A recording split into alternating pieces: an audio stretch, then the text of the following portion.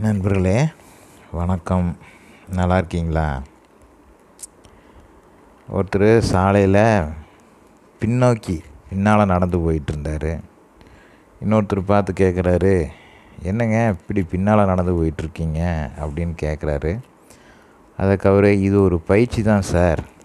எல்லோராலையும் இப்படி இவ்வளோ வேகமாக நடக்க முடியாது. அது உங்களுக்கு தெரியுமா? அப்படின்னாரு. ஏன் பறவைகளால் கூட பின்னால் பின்னோக்கி பறக்க முடியாது அப்படின்னு கூட சொல்லுவாங்க. உண்மைதான். ஆனால் இதில் பார்த்தீங்க அப்படின்னா இந்த ரீங்கார சிட்டுன்னு சொல்லுவோம் இல்லையா? ஹம்மிங் பேர்டு அது வந்து பின்னோக்கி பறக்கும்னு சொல்லுவாங்க.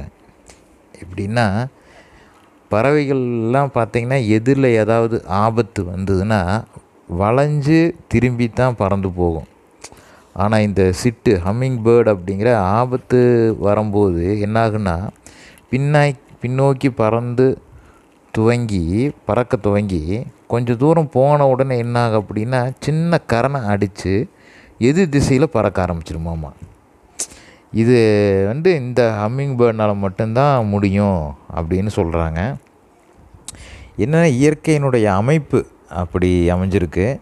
அதன் இறக்கையினுடைய மூட்டுகள் இருக்குது பார்த்தீங்களா அந்த மூட்டு பகுதி பார்த்தீங்க அப்படின்னா அந்த முந்நூற்றி அறுபது டிகிரி அளவுக்கு வளையக்கூடிய அளவில் அதனுடைய இறக்கையினுடைய அமைப்பும் அமைஞ்சிருக்கு. அந்த கோணத்தில் அமைஞ்சிருக்கு. அதுதான் காரணம் அப்படின்னு சொல்கிறாங்க அது மட்டும் இல்லாமல் இந்த ஹம்மிங் பேர்டு பார்த்திங்கன்னா ஒரு வினாடிக்கு அந்த இறக்கைகளை ஒரு வினாடிக்கு ஐம்பதுலேருந்து எழுபது தடவை அசைக்குமாமா.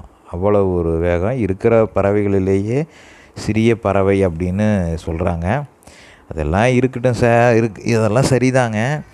இருந்தாலும் எல்லோரும் முன்னோக்கி நடக்கிற இந்த சா இந்த ரோட்டில் நான் நீங்கள் மட்டும் ஏன் பின்னாக்கி பின்னால் நடந்து போகிறீங்க பின்னோக்கி நடக்கிறீங்க?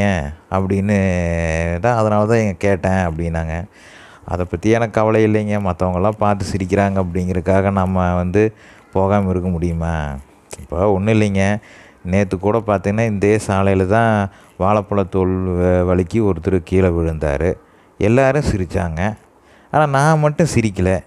ஏன் தெரியுங்களா? ஏன் ஏன் நீங்கள் சிரிக்கலை அப்படி? ஏன் நீங்கள் சிரிக்கலீங்க? விழுந்ததே நான் தானே அப்படின்னு சொல்லிவிட்டு அவர் பாட்டுக்கு நடந்து போகிறாரு